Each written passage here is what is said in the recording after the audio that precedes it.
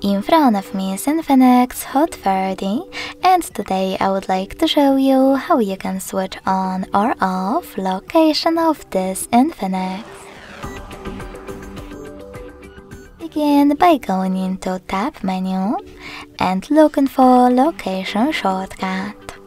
When you find it, click on it. As you can see mine is blue. That means that location is on, but you can always switch it off by clicking on the same shortcut again.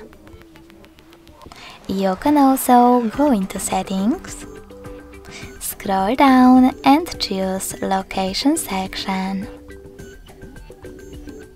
Then tap on this switcher next to it to enable or disable it. Thanks so much for watching. If you enjoyed this video, don't forget to leave a like, comment and subscribe. Bye!